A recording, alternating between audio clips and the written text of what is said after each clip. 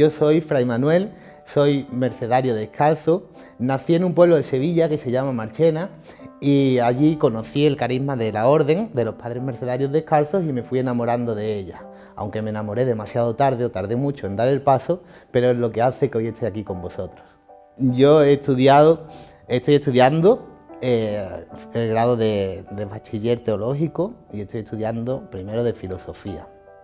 Anteriormente eh, tenía un trabajo, era joyero, trabajaba en una joyería y de allí pues me fui al convento. Cuando era pequeño yo quería ser sacerdote. Desde pequeñito mis padres, mis hermanos me llevaban a la parroquia a misa los fines de semana y, y, me encantaba ir a misa, me encantaba las canciones del coro, me encantaba. Entonces yo siempre cuando era pequeño quería ser sacerdote y por eso estaba en el coro de la parroquia en cuanto, pude, en y participaba de la vida de la parroquia. Conforme fui creciendo, es verdad que hubo un, una persona muy importante en mi vida y también en la vida de, de la sociedad de, de, mi pueblo, de Manchena, que era el párroco de mi parroquia, él era mercedario descalzo, el padre Javier, este hombre fue una persona muy influyente en muchos ámbitos de la sociedad, en el tiempo de la transición y también se volcaba con los jóvenes y con las personas a lo mejor menos, menos favorecidas. Y esto me hizo ver como, un, como un, eh, una distancia grande porque yo decía, bueno, o pensaba, pues nunca voy a poder llegar a ser como él. Y lo que hizo que, que me decidiera finalmente fue que él tuvo una enfermedad y cuando vi el momento de, de, debilidad ¿no? de la persona fue cuando me di cuenta de que era alguien normal. Él nunca me dijo que, nunca me ofreció ser mercedario descalzo porque la parroquia era de la diócesis, ¿no? Y entonces no, me imagino que tampoco lo vería conveniente, pero a partir de su enfermedad yo empecé a, a convivir más con él diariamente y ayudarle y entonces fue cuando directamente me instalé en el convento y, y es lo que hizo que, que, ahora sea mercedario descalzo.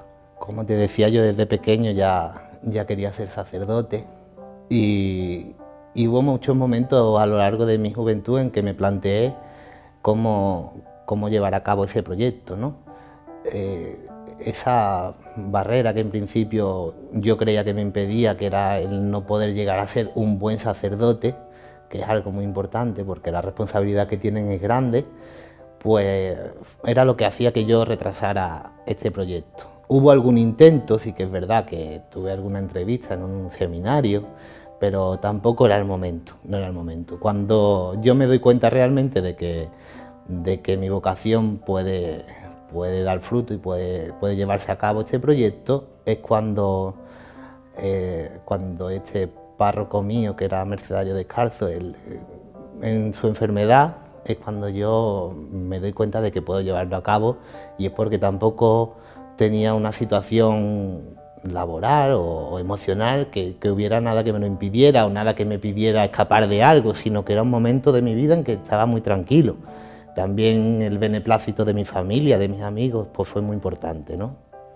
Cuando yo me decidí a, a entrar en, en, la orden o a pedir entrar en la orden, eh, yo se lo, a mí me propusieron un reto que, que, ha marcado toda esa etapa y que todavía hoy sigue siendo muy importante. A mí me propusieron que intentara conseguir que en mi vida familiar, en mi vida social, con mis amigos, en mi trabajo, que vieran lo que iba a hacer, el paso que iba a tomar como algo normal. Y, y eso sigue siendo algo que hoy mm, sigo teniendo muy en cuenta. Intento ser normal, porque somos personas normales, ¿verdad? Con nuestros defectos y con nuestras virtudes como todo el mundo.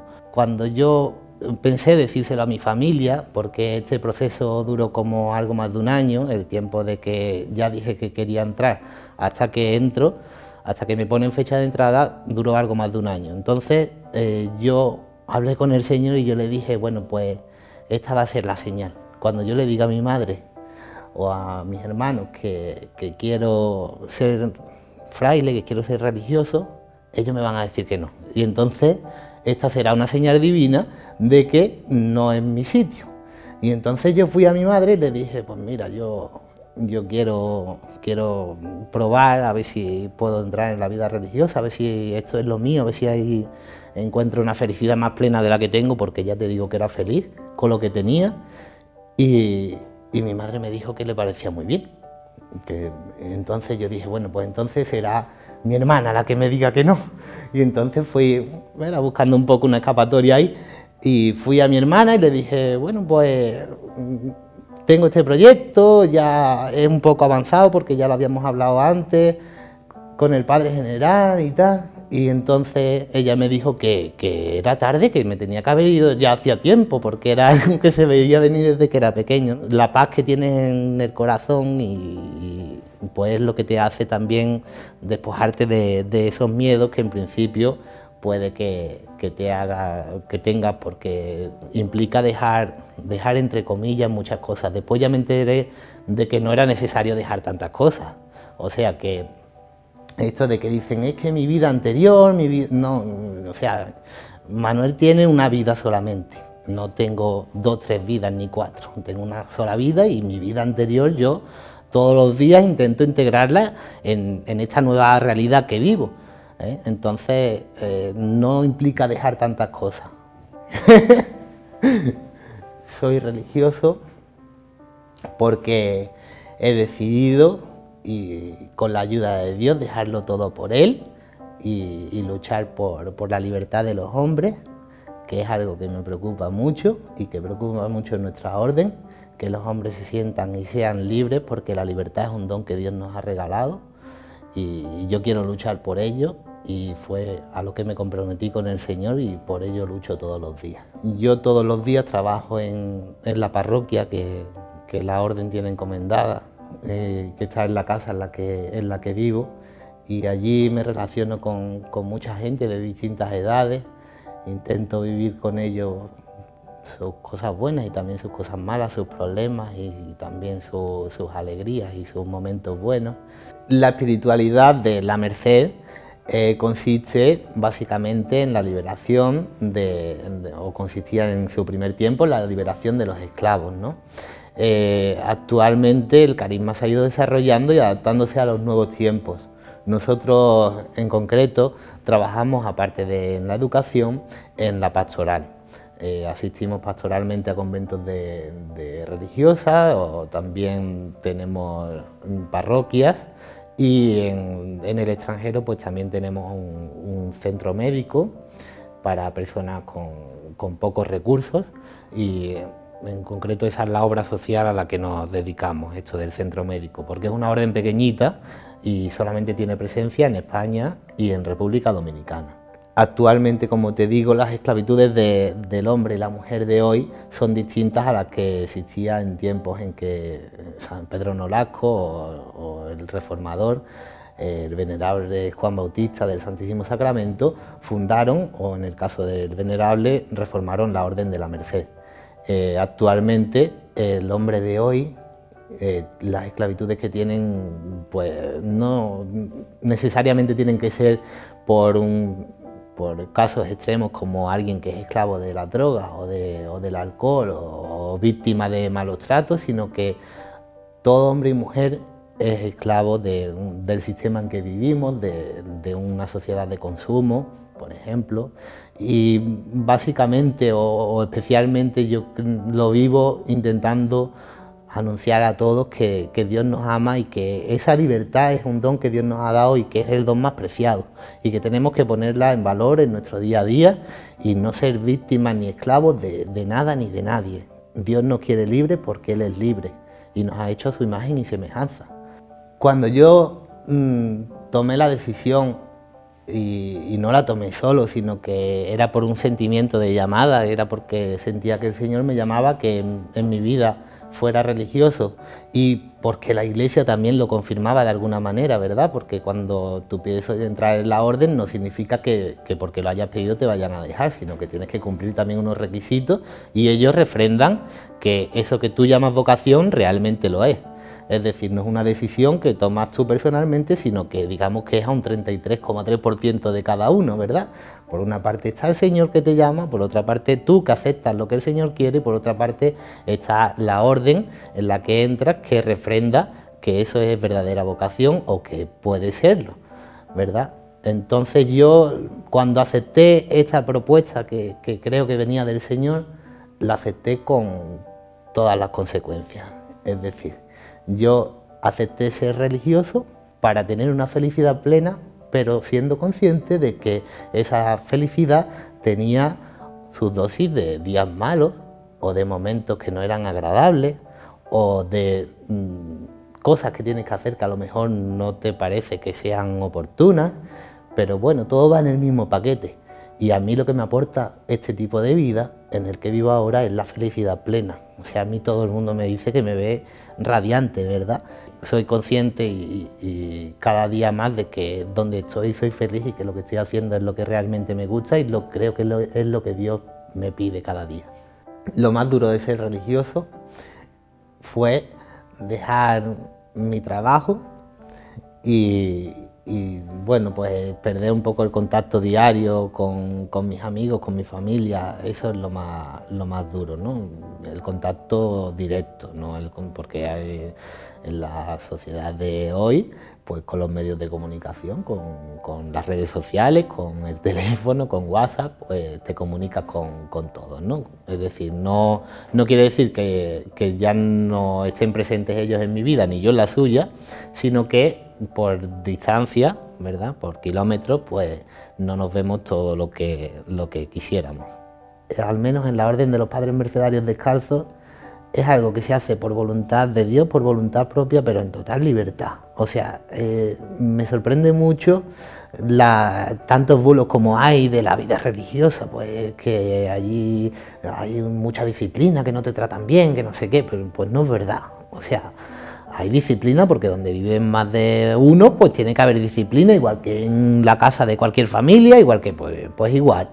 Pero, pero sin embargo, no te exigen más de lo que puedes dar, no, o sea, no, no hay una exigencia así que tú digas, pues, pues esto no lo llevo bien, no, sino que son, los religiosos son comprensivos, los formadores son comprensivos y, tu vida se desarrolla con mucha normalidad. y esa libertad es tan importante que, la llevan y ellos la llevan eso, lo llevan a gala, ¿no? el hecho de, que pueda seguir a Cristo en, total libertad y viviendo en comunidad.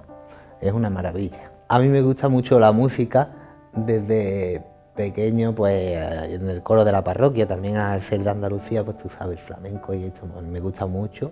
Y, y toco la guitarra y desde que llegué aquí pues empecé a hacer mis pinitos con el piano y con el órgano, pero previamente solo la guitarra. Yo estaba en un grupo, de, en un grupito que, que cantábamos en el Rocío, que cantábamos y tal, y la verdad es que me gusta mucho. Pues de la vida lo que más satisfacción me da es ser religioso. Es lo que, lo que más me gusta porque es la realidad más nueva que he vivido últimamente y es de lo que intento aprovecharme y vivir cada momento. Lo que menos me gusta de la vida en general es eh, ver a gente privada de libertad. Es lo que menos me gusta y lo que veo más injusto y por lo que desde mi pobre posición lucho cada día. Veo con resignación como los jóvenes que se acercan a, la iglesia o que se acercan viven con ansiedad.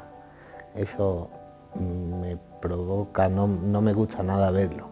Y, me gustaría que fueran conscientes de que, Dios les perdona por las cosas que algunas veces hacen mal, como todos hacemos, y no me gusta que se maltraten a sí mismos o que se sientan continuamente culpables por algo que, que hicieron o por algo que, para eso está el sacramento de la reconciliación, vamos al Señor, le pedimos perdón, nos arrepentimos de lo que hemos hecho y volvemos a empezar de nuevo. Y si nos caemos mañana, pues hay que levantarse otra vez y empezar de cero.